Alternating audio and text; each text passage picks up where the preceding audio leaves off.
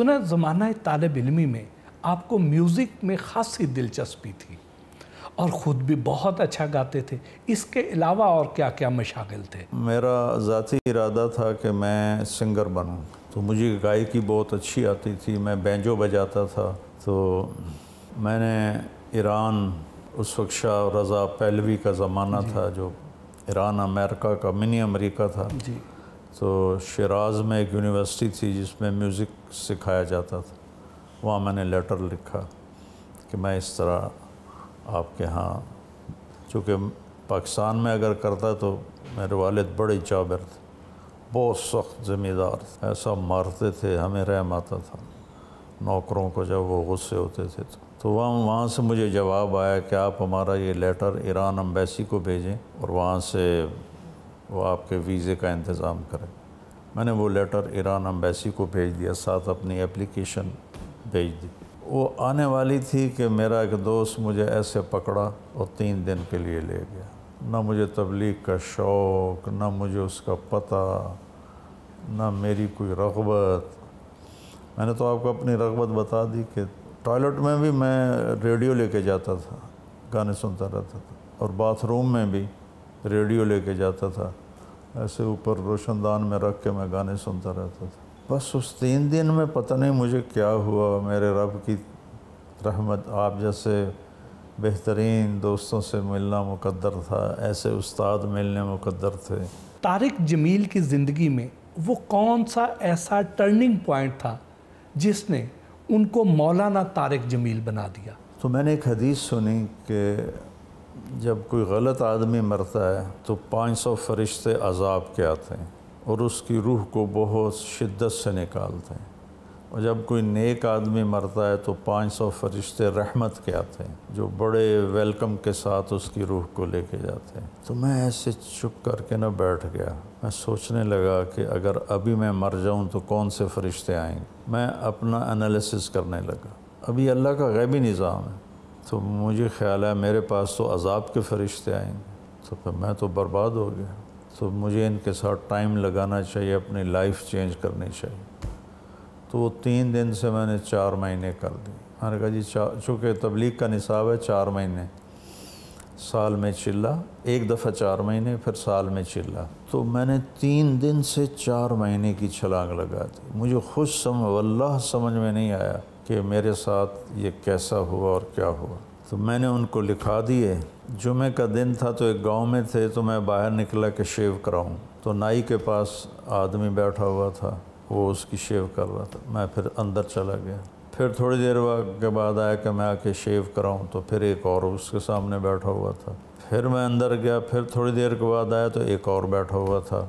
तो अब देखें मेरे दिल में ख्याल आता है कहीं अल्लाह दाढ़ी तो नहीं रखवाना चाहता? जो हर दफ़ा तू जाता है तो आगे आदमी बैठा होता है तो कहीं अल्लाह दाढ़ी तो नहीं रखवाना चाहता? मैंने कहा चलो आज से दाढ़ी रख लेते जब चंद दिन गुज़रे तो उस वक्त फ़िल्म स्टार रंगीला रहमत अल्लाह उसकी बख्शिश करे। उसकी एक मूवी आई थी दिया और तूफ़ान। जी। और फिर आई थी रंगीला। वो दोनों बड़ी सुपर हिट हुई थी। तो उसके बाद दो रंगीले का, की अनाउंसमेंट थी। तो जब मैंने तीन चिले कर दिए तो मुझे ख्याल आया दो रंगीले तो रह जाएगी तो अब क्या करूँ?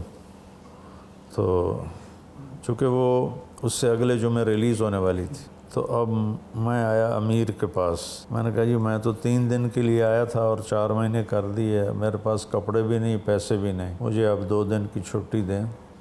मैं पैसे भी ले आता हूँ, कपड़े भी ले आता हूँ और जी में था कि जाकर दो रंगीले देखूँगा। वो दे, वो वो चला जाता फिर किसने वापस आना था? अल्लाह मीर की बख्शिश करे अब्दुलरहमान साहब रहमत मुल्तान के थे। कहने लगे, मेरे प्यारे, ये मेरा, तेरा मेरा साइज़ एक जैसा है कि मुझसे कपड़े भी ले ले, और जितने पैसे चाहिए, पैसे भी ले ले। तो अभी जा नहीं तो। तो पैसे तो थे मेरे पास मैं तो झूठ बोला था। तो मैं फिर थोड़ा नरम भी पड़ गया था जवाब भी ख़त्म हो गया। हाँ तो फिर मैंने चार महीने मुकम्मल की। चार महीने के एंड में था। मेरे चार महीने में एक रमज़ान पूरा आया पैदल सफ़र। बॉर्डर की तरफ़ जो कसूर से आगे थोड़ा सा और देहात थे जो बॉर्डर के करीब लग जाते गंडा सिंह वाला। इंडिया बॉर्डर के करीब लगे। वहाँ पैदल सफ़र था एक महीने का। और आप अंदाज़ा लगाएँ, एक महीना हमने सफ़र किया, रायमंड से गए भी, वहाँ से वापस भी आए, सत्ताईस रुपये लगे हमारे एक महीने में। और वहाँ कोई हमारी ज़ियाफ़त ऐसी नहीं हुई, हमें ख़ुद ही पकाना पड़ता था। तो मैंने दुआ मांगनी शुरू की अल्लाह, मुझे लैलतुल क़दर नसीब फरमा। और मैं हूँ, पैदल सफ़र कर रहा हूँ। तो मैं पाँच रातें तो नहीं जाग सकता कि मैं पाँच रातों में उसे तलाश करूँ। जो रात हो ना मुझे उठा देना तेरी बड़ी मेहरबानी। पहले रोज़े से मांगना शुरू। वही काम किया जो आप किताब के साथ करते थे। तो 21 रमज़ान थी हम एक अहल हदीस के गाँव में थे। रात 12 बजे किसी ने मुझे यहाँ से पकड़ के उठा दिया। ऐसे उठ। फिज़िकली यहाँ से यूँ किया। तो सर्दियाँ थीं बहुत। दिसंबर का महीना था। मैं उठ के बैठ गया। मैंने इधर देखा इधर देखा। मुझे किसने उठाया?